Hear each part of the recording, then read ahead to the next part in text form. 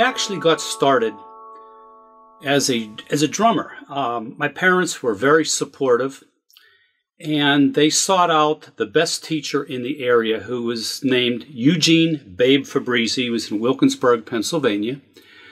And every Saturday, my mother would uh, come home from work uh, around noon, would hop in the car, and we would drive the one hour trip to Wilkinsburg, Pennsylvania. And I would take my lesson with Babe, as we called him, uh, and come home. And I did that every week uh, for quite a long time.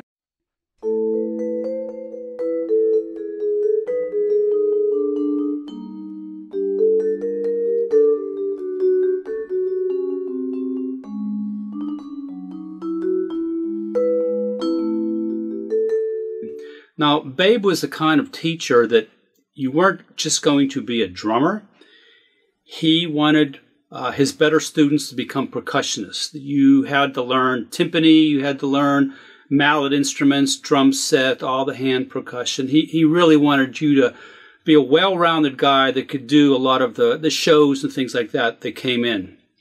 And uh, that was going to be my life. I was pretty much a, a classically trained percussionist and something that I aspired to and liked and really wanted to do forever and ever.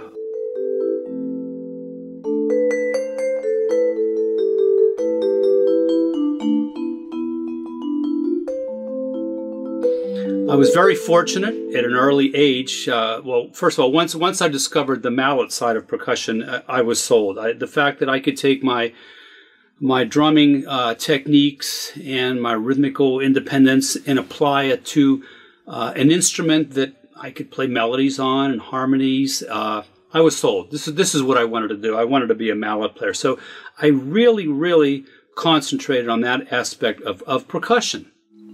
Reading seemed to come easy to me. I, I enjoyed reading. I mean, you could give me a piece of music and for some reason, it was just never hard for me to take that piece of music and apply it to my instrument and play it. And that's probably the, the strongest thing that got me started in my career. At a, at a very early age, I got involved with all of the orchestras uh, in the western Pennsylvania uh, area. I was doing things with the Pittsburgh Youth Symphony, the Pittsburgh Symphony, the Wilkinsburg Symphony, Monroeville Symphony.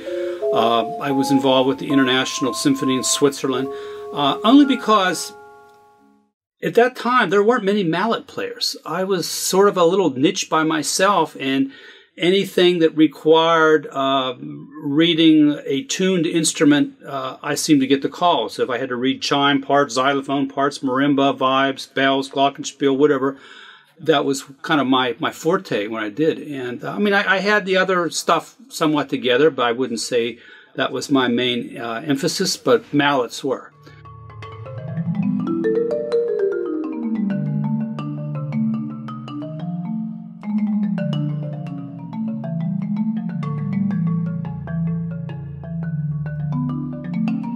after a, a rehearsal, or actually, it was after a concert because I had my tuxedo on with with the symphony.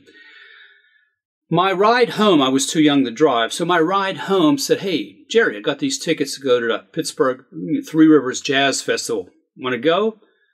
No, I, I, I, didn't want to go to that. I, I, had to go home. I had to go work on my classical. I had to practice. I, I, I didn't have time to support that kind of music, not anything I really wanted to get involved with and uh, it was about I guess 12 to 12 miles to my home, and I really didn't want to walk that far. So I said, "Look, let's let's go to this this jazz concert, and but let's leave. Let's let's leave fairly early. I didn't want to spend too much time there because I've got things to do."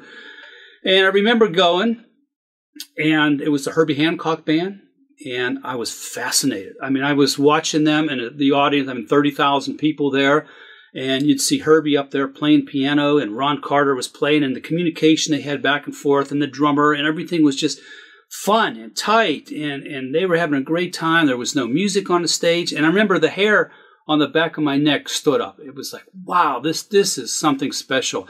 And I had to figure this out. Now, fortunately, because of my association uh, with, with all the classical music and the orchestras, uh, the Ludwig Musser Company, uh, this was 1972, came out with uh, a development instrument that they were working on with synthetic bars. It was a marimba but it had this thing called Kelon bars, which were a replacement for Honduras rosewood. So they brought it to Pittsburgh at the Mideast Music Conference, and they needed somebody to play it. Of course, I was the mallet player, so I got the call to do this. And I met Mr. Ludwig and a guy by the name of Dick Richardson, and at that time, uh, I was a junior in high school. I got my first uh, signed endorsement with the Ludwig Musser Company, which I was very excited about. I was at an event with, uh, with Ludwig Musser, and I don't remember where it was, but I ran into another Musser artist. His name was Gary Burton, and uh, he's a jazz vibraphone player. And I said, hey, uh, you know, once we met, we were sitting down at dinner together or something. I said, you know, I, am fascinated with jazz. I, I, I, need to learn a little bit more about it and, and, and how to develop, you know, the, the whole concept of what's going on with improvisation. And at that time, Gary says, well, hey, I teach at Berklee College of Music. Why don't you come? You can be my student. And I did. I went to Berklee, and Berklee was the best thing I could have ever done in my life. Uh, so anyway, that's pretty much how I got into jazz and how I, you know, developed into a, a clinician with the Ludwig Musser Company. Now, Ludwig has been a very uh, supportive company of me since the beginning.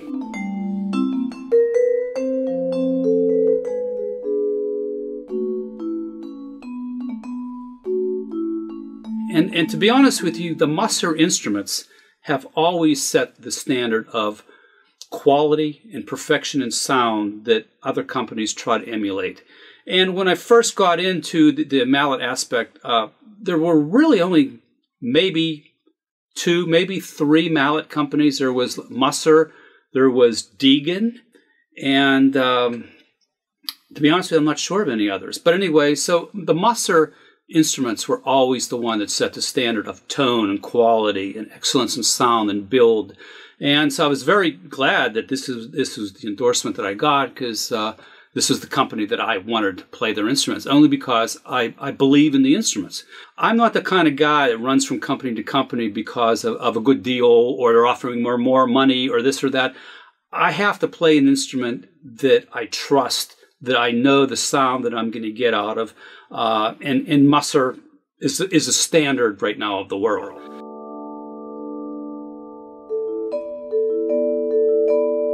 That's what I do.